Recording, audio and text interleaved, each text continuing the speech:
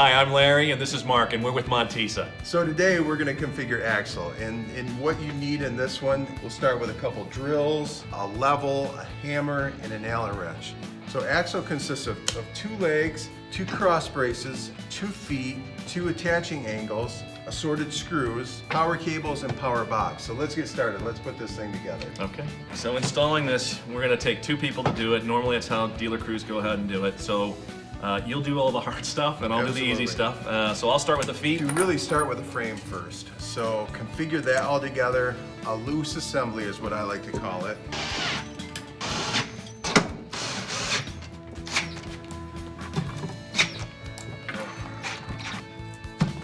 So obviously we put the attaching angles on first. We centered the legs within the two brackets. And then the key part of this is to attach the, the motorized leg to the frame system itself. So this is expandable. We'll show you. You expand them out, that will expose the holes into the side of the drive leg. You just line up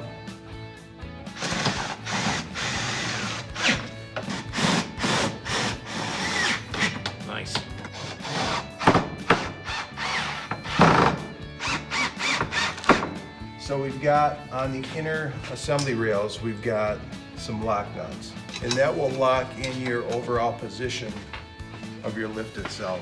This top is pre-bored, so go ahead and lock down the center section. Our suggestion would be wherever you can put a screw, put a screw. Yeah, in this. In, in so now we've got our three cores. And basically what we're doing, we're, we're powering up both of the legs. You know, the industrial engineers like the poka-yoke, so you just pop it in and go till it clicks.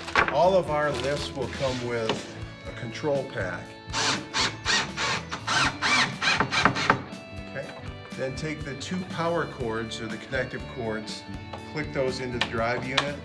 So on the interior part of this rail, there are little holes for these little quick clips, or, you know, I like to call them wire harnesses. They just pop in. Just kind of hides the wires. So we got one more thing. So this is probably oh. one of the most important steps right, right, here. That would be the power cord. So you've got the little power port here that you plug into.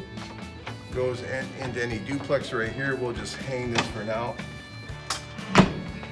First thing you've got to do with, with our Axl legs is you've got to cycle it down. The system will power up You'll hear it go to the bottom and then it'll just stop. At that point, that sets the motor and then you can just operate accordingly. So we've got it put together. Uh, a couple highlights with respect to this. It's a three-stage system, Mark, so what does that mean?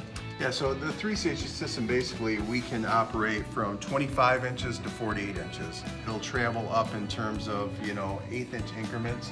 So you can set it wherever you want it. We've got over 250 RAL colors. With Montisa, you've got many color options, so you can really personalize it. And the RAL color, no upcharge for that, right? No upcharge. And just maybe a little bit from a time perspective, just uh, lead time, uh, kick that in a little yeah, bit. we just asked you to buy one. Right, just one, right. That's it. That's awesome.